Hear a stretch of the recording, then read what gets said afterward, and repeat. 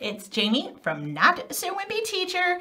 Let's chat about how to find time to teach writing when you don't have time. I mean, isn't that how it feels? You've got this list of standards to teach so much reading, math, science, social studies, grammar, writing, and yet you're trying to squeeze it into these tiny pockets of time because you also got to have your recess and your lunch and your specials and RTI and I, I mean, it's never ending, right? I totally get it.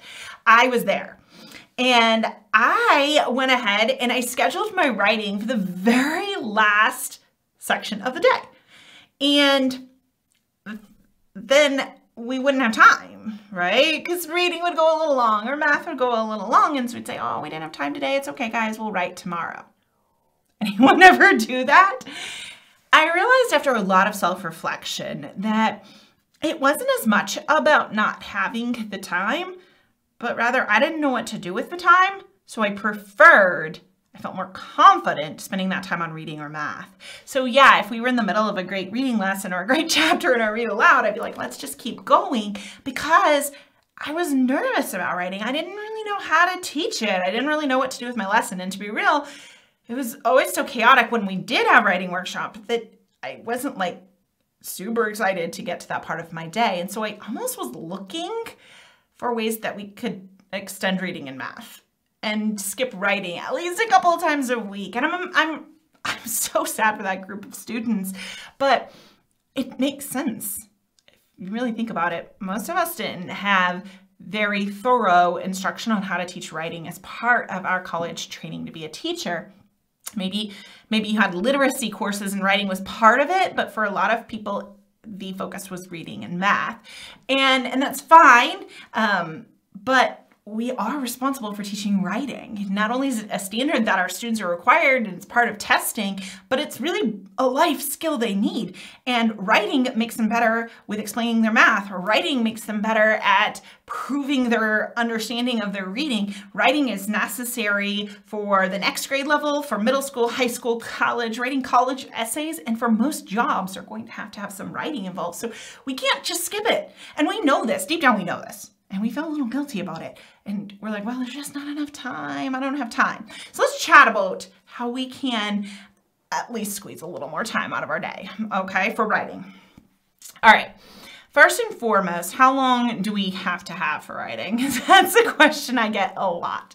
I recommend setting aside at least 30 minutes for your writing workshop. Not grammar, not spelling, writing workshop. This might sound crazy to you right now because you're like, there's no time, Jamie, there's no time. But 30 to 45 minutes is ideal. So at least 30 minutes, at least start there. If you don't have time for any writing, let's at least start with trying to find 30 minutes. Um, I know it sounds hard. I, I, do. But I want to give you a few tips that might make it easier for you to find that time in your schedule next year. And then I will continue to help you to feel more confident about what to teach during that time so that you will protect the time. Okay, first and foremost, I want you to do a time audit. I actually do time audits. Um, quite often because I find it increases my productivity. So as teachers, you lesson plan, right? You decide exactly what you're going to do with your hour of math and your hour of reading and science. And I could ask you like, hey, what's happening in your classroom at 9.43 in the morning? And you would know exactly what's happening. But I want you not just to write down the schedule you put on the board, right? The one that says from 8 to 9 we do math and 9 to 10 we do reading. I don't want that schedule. I want you to be honest. No one's going to see the schedule. You don't have to show me. You don't have to show your principal. No one. What really happens in your classroom? I want you to include everything. Transition minutes, times it takes to walk somewhere like recess, or how long it takes to get materials out, to clean up, um, your classroom management, how much time is spent with that, because there's more to your day than just reading, writing, math, science, and social studies, right? There is. And I know this and you know this. So I want this to be a realistic time audit of how you are spending each minute in the classroom. It's not meant to make you feel guilty because you have to do most of this stuff. But we can't start looking for minutes until we're realistic with how those minutes are being spent right now because some things we might be able to make shorter or eliminate, but we have to know what we're doing first. So do a time audit. and really pay attention to how you're spending minutes during the school day. Now, I want you to look at that time audit after you've done it, and I want you to be very honest about must do's versus may do's. That's a term we use with our kids, but it's a great term for us too. Um, we slowly will add in things into our schedule, and it's, I think you you do this, it helps make your classroom fun. It makes teaching fun for you. And I'm not saying you shouldn't, but I want us to be looking and cognizant of must-dos versus may-dos. So a must-do, math, reading. May-dos might be bell work, or maybe you've added a certain type of program. Maybe it's class meetings. These are may-dos, and I'm not saying you have to get rid of them all, but it's nice to color code it so that you remember that you do have some flexibility in your schedule. And sometimes when we look at this schedule, we start to see like, oh, I've added a lot of things over time. And I want you to be honest with yourself and say, which of these things really helps my students to grow? Because your classroom needs that. Your classroom needs culture. So maybe you're like class meetings. I have to have them. They're a must do for me and my classroom. But you know what? That bell work takes a lot longer than I thought it would take. It's eating up, it's eating into our math time, which is making math eat into other times. So you know what? We're just going to do one warm up problem instead of a spiral review worksheet. I want you to just look through all of those may do's and make some decisions about which ones are the most important to you in your classroom because writing needs to be a must do, not a may do. Okay, so that's a, a first step. But then let's talk about some time saving ideas. One of the ways that you can save the most time in your classroom is revisiting routines and procedures. So we teach them at the beginning of the year and generally teachers don't spend nearly as much time on it if they need to. And the reason they don't is because they feel this pressure. Like, I got to get to all the, the content. I got to get to the curriculum, um, you know, testing, all these things. But the longer you spend perfecting routines and procedures in your classroom, the more time you will save all year. So taking extra time at the beginning of the year is going to save you time all year. You're going to get to teach more. So this is a big deal. So I want you to even think about your routines and procedures now for next year you want to think about ways to make it faster for students. So what are the fastest ways you can handle pencil sharpening?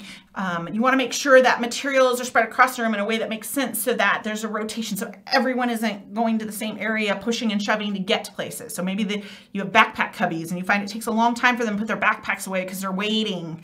Everyone's in the same spot. Can you spread them out? Are supplies spread out so that it's easier to get them? How many supplies can they keep in their desk or at their table so that there's less time spent doing that? And then when school starts, how will you teach those procedures so that they are quick? quick. We can't, I think over time we just sort of allow our students to transition a certain way. Like, ah, that's just the way they transition. That doesn't have to be the way. So when I teach procedures, I love to set goals. Like this is how long it'll take us to transition between subject areas. And we get to the point where we can do it. Like we practice, we compete, we um, every day try to get better than we were the day before. I make it a priority in my classroom and I want you to think about this. If math started just five minutes earlier because you got routines and procedures down so well, you would save yourself 25 minutes over the course of one school week.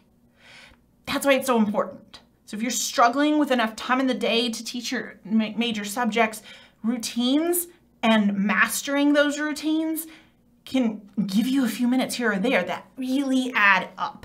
So take some time to think about how your classroom is set up, what types of routines you have in place, which ones are taking too long. You can look at your time audit and be like, ooh, getting ready for reading is taking too long. So then you can start brainstorming like, okay, what, what about it's taking too long? They're going to the library to get books. That's taking too long. Could they pick up their books during snack time or um, is there another way that I can spread the books a little more so there's not big clumps? What can I do to make this process faster? And then I want you to plan those first two weeks of school to include so much routines and procedures. Coming up with ways to make it fun and turn it into a game and a competition is great, but we don't want to move on before students have really gotten it down. And then you're going to have to come back and practice them when you notice your students start to slack a little bit, which they will occasionally.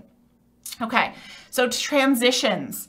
Make sure you're timing them and put the time up on the board. This is a way to continue to make sure that students aren't wasting time between their um, their subject areas, but I also want you to think about your transitions too.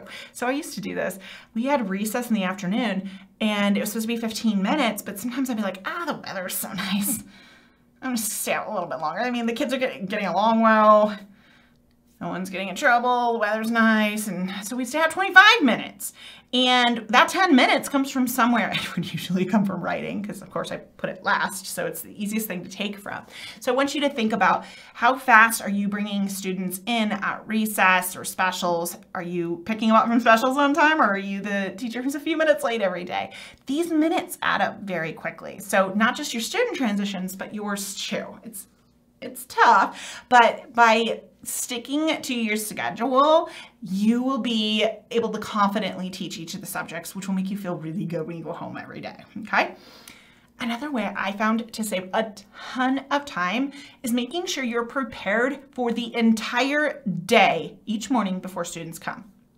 And this is what I mean by this. So early on, um, I wouldn't have everything out. I mean, I was just lucky I had lesson plans really.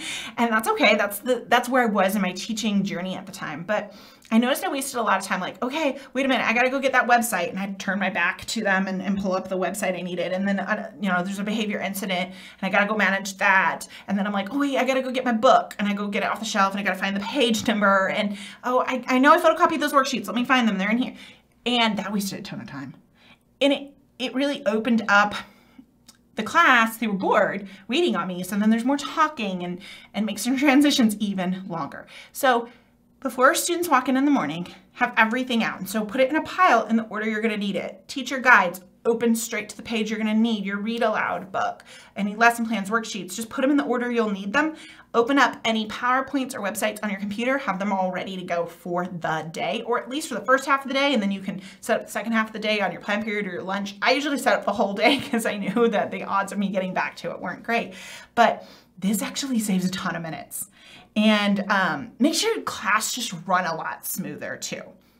So I know these are just sound like minor things, working on your, your must-haves and, may-dos and um, working on transitions and routines and procedures and being more prepared. But I will tell you that can probably already give you 10 to 15 minutes.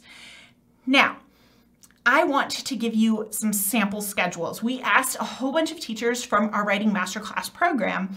They've, they've fit writing into their schedule. And we asked them to share their schedules with us. And I don't know about you, but I kind of geek out over looking at other people's schedules. So we took a bunch of different types of schedules and we put them all into one guide for you. So these are all schedules that include writing workshop as well as all the other subjects. There's even some that are for teachers who are only teaching maybe literacy or literacy and social studies. There's schedules that include extras like there was teachers in our group who have um, religion or mass that they have to go to. And so we put all these schedules into one free guide for you to look at. I want you to get inspired by some of these schedules.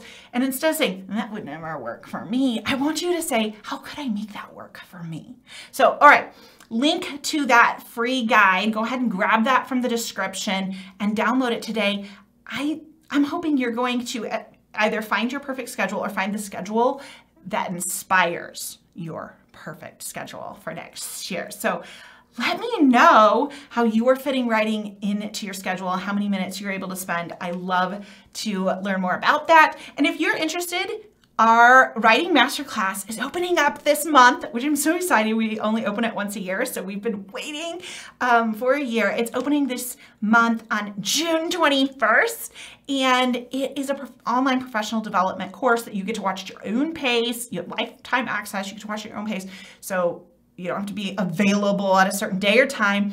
And it will take you from chaotic writing workshop that you don't look forward to, to being a confident writing teacher who has students who are excited about writing and are growing. That's what our masterclass is all about. It's for um, teachers who teach in grades two through five. So I'm also going to include in the description a link to that waitlist so that you don't miss out. Because like I said, we only open once a year. So you got two things to do. Grab that guide with the sample schedules and get yourself on the waitlist. All right, can't wait to chat with you more about how to confidently teach writing. Have a not so wimpy day.